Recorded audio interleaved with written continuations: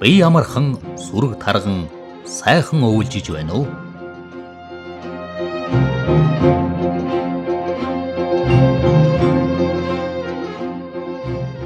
Монголын радиогийн малчин нэвтрүүлэг шин дугаараа сонсогч та бүхэндээ хүргэж байна.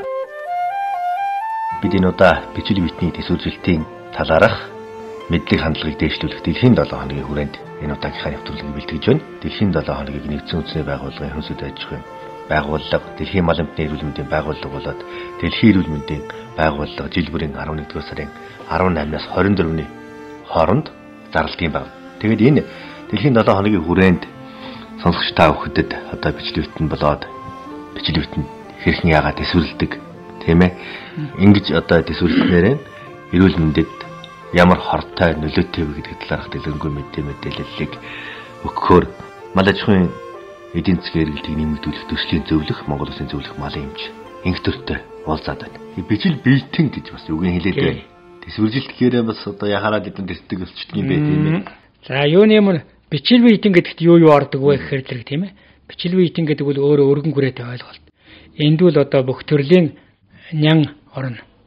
За дээр нь вирус орно За дээр нь одоо мөөгөнцөр орно.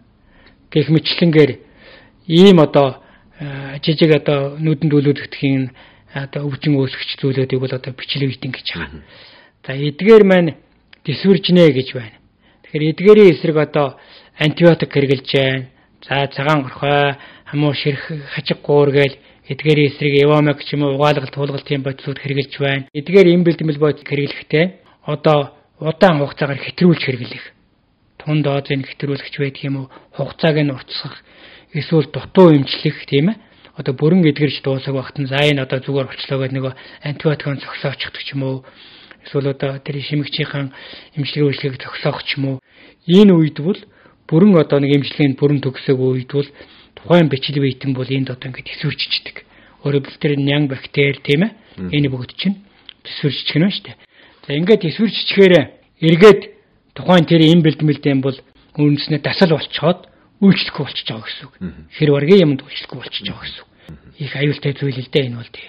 Бичил үедний дэсвэржилтийн мэд шалтгаанаас болоод одоо малд үүсдэг байна. Харин хүнд хүнсээр буюу одоо эми үлдэглээ дамжин бий болдоо гэж байна. Тэгэхээр эми үлдэгдэл гэж юу хэлээд байна.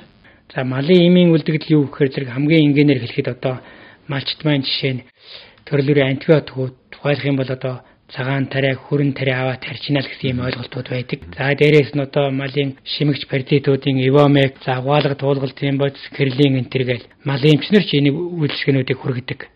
Тэгэхээр яг малын эмээлдэгдэл гэхээр юу вэ гэхээр зэрэг эдгээр одоо энэ антибиотик болон шимэгчийн юм тариаг ингээд малд хэрэглэлээ. Тэгэхээр эдгээр нь тодорхой хугацааны дараа малын биеэс гадагшилдаг. Өөрөөр хэлбэл малын биед хадгалагдах хугацаа гэж байна. Тэгээ малын биеэс гадагшлахна гэсэн үг.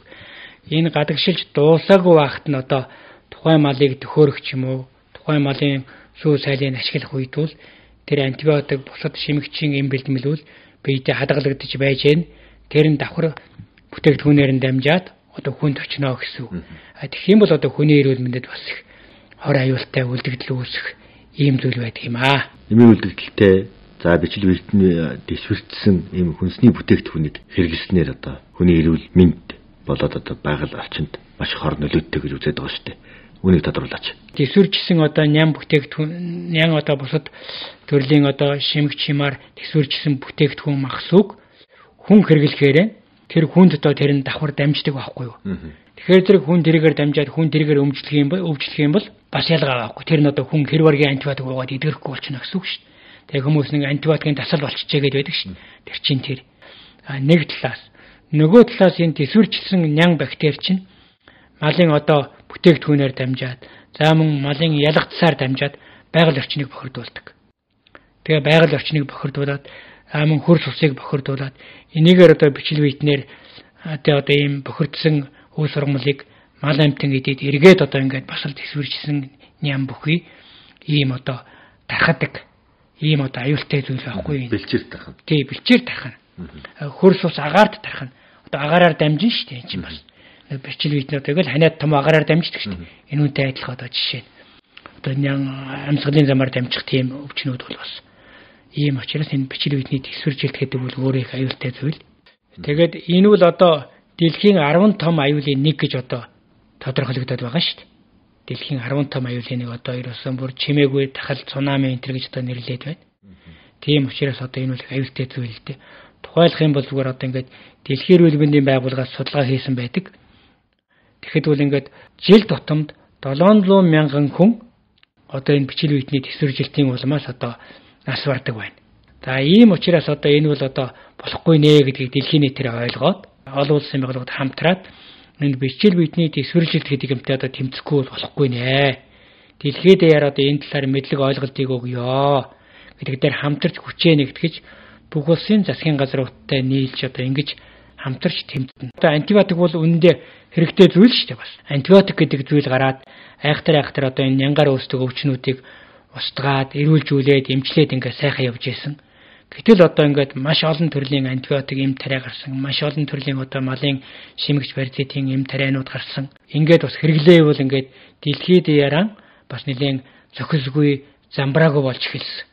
Тэгээ эргээд харсан чинь нөгөө олон ингээд замбраагүй хэрэглэнээс болоод ням бактери чинь төсвөржилт үүсээд ингээд бас нөгөө энэ трендэн бас тасал болоод эмчлэгдэхгүй болоод эхэлж байна. Тэгээ энэнийг бол зогсоохын төлөө л одоо ингээд дэлхийн нийтээрээ ийм 81 11 сарын 18-наас 24-ний хооронд ингэж зохион байгуулдаг болж байгаа маа. Тэгэхээр одоо нөгөө антибиотикийн зохистой хэрэглээ гэдэг юмыг бий болгох зайлшгүй шаардлагатай болж байгаа энэс үүдээ тийм ээ. Эрүүл мэндийн тухай хуулинд бол тодорхой зааж өгсөн зүйл л дээ. Тий. Малчид сумныхаа малын эмнэлгийн байгууллагуудаар үйлчлэг явнаа. Тэрийг тогтмол бүртгүүлжүүлж явнаа. Тэр одоо бүртгэлийг хараад тухайн малын эмч хүнсэнд хэрэглэх хэрэглэхгүйг нь зохиж өгж гарал үүсгийн гэрчлэгийг нь олгоно гэдэг ч юм. Ийм зүйл бол байгаа байхгүй. Гэтэл одоо яг амьдрал дээр энэ хэрэгжихгүй байгаад байдаг. Энийг яах вэ гэхээр зэрэг дөрөвний миний хэлсэн малчид өөрсдөө ингээд нэг тийм ээ нарийн учрын мэлхүүгээр эмчлэх юм бол энэ төсвөржилтийг үүсгэх эрсдэл өндөртэй. Мэргэжлийн малын эмчээрээ цаг тухай урт нь зөв тунгаар нь зөв хугацаагаар нь хийх ёстой юм. Энэ нэвтрүүлгээр бол нийл малчдаа, фермерүүдтэй, малын гаралтай бүтээгдэхүүнээ хамгийн сайхан эрүүл цэврээр нь одоо бэлтгэн нийлүүлье. Малдаа одоо малын эмчийнхаа заавар зөвлөмжөөр эм тариагаан зөв хэрэглэе. За малдаан одоо эм тариаг хэрэгэлсэн, угаалга туулгалт хэрэгэлсэн, ивомек хэрэгэлсэн, антибиотикоор тарьсан ч байдаг юм уу тийм ээ нөгөө цагаан тариа, хөрөн тариа гэдгээр. А тийм байвал нөх хүлээх хугацаа гэж байна. Одоо жишээ нэг махан дарвал одоо антибиотикоор тарьсан байх юм бол дор хаяж нэг 21-ээс 28 хоногийн дараа үндсэндээ бараг сарын дараа төхөөрөх нь шүү. Одоо жишээ нь малын эдж хүнс бэлтгэдэг цаг эхэлж шүү. Аа сүүг нь бол одоо нэг 10-аас 14 хоногийн дараа хэрэглэх хэрэгтэй. Тэгэхгүй л бол нөгөө тэрийгээр чинь эмийн үлдэгдэлтэй нөгөө антибиотикийн үлдэгдэлтэй бүтээгдэхүүн нөгөө хүнд очиод байна шүү дээ. Хүнсэндээ хэрэглээл ингээл чи эрүүл мэндэд бас л сөргөөрнөлөөлнө. Тэрхэн үедээ бол мэдрэгдэхгүй. Удаа удаа хугацаанд байнга хэрэглэсээр үл энэ чинь ингээд их аюултай байхгүй. Тийм учраас энэнийг бол одоо бас дээд малчдаа ард иргэдтэй сэрэмжлүүлэг болгож бас энийг хүргэж байгаа юм аа. Тэгэхээр малчт маань маш сайхан тийм зөв ойлголттой, зөв хандлагатай болох хэрэгтэй. Мөн хэрэглэгчд худалдан авагчд тийм ээ хялттай байх хэрэгтэй болж байгаа. Одоо бүтээгдэхүүн захаас махсуу бүтээгдэхүүн худалдаж авч байгаа жирийн иргэн хүртэл Улаанбаатар хотын иргэд хүртэл за энэ хаанаас гаралтай вэ? Вакцин одоо малын эмтэрэ антибиотик нөгөө Ивамек хэрэглэсэн өө бичиг ачиг нь хаана байна вэ? Бүх шатандаа ингэж ээж энэ тогтолцоо бол бүрдэнэ ганцхан энэ бол малчин малын эмч хоёрын ажил бол бас биш.